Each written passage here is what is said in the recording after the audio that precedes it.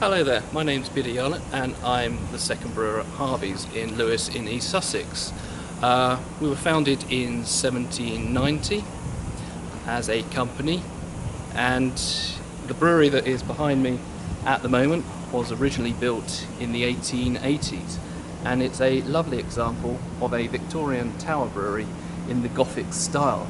If you've not come across a tower brewery before, uh, it was the way to brew beer before the use of pumps and you just take all your raw ingredients up to the very top where it says Harvey's Brewery. We have our liquor reservoir and basically each successive stage of the brewing process is located below the one before and as we're producing the liquid we just allow gravity to do all the work for us. Uh, and recently we installed a little five barrel microbrewery so we could do some interesting small batch beers that we uh, couldn't do upstairs because it would take up too much room.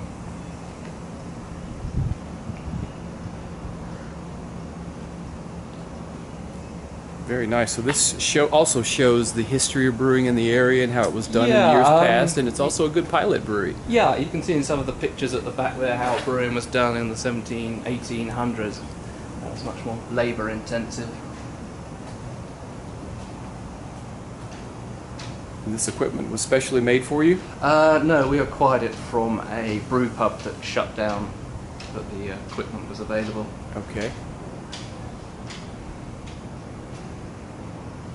Very good. Well, tell us about the most popular Harvey's beers. Um, our most popular uh, beer is Harvey's Best Bitter, which is available from London and in large parts of Sussex, Surrey, and Kent. Um, we also do a few other beers that are available all year, which are the Armada, the Hadlow, and the Mild. And we also do a range of seasonal beers, so we can do a different beer for each month.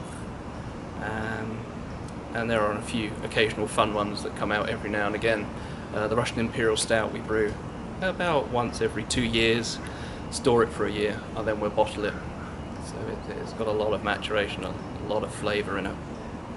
And most of your beers are traditional cask ales. Yeah, predominantly about 95% of our production will go into cask ale, uh, but we can also bottle on site. So And that's about 3% of your volume bottling? about 5%. About yeah, five, yeah. okay. We only do bottles or casks. Okay.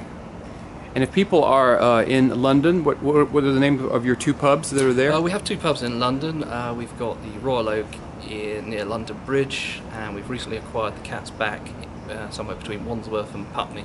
Okay.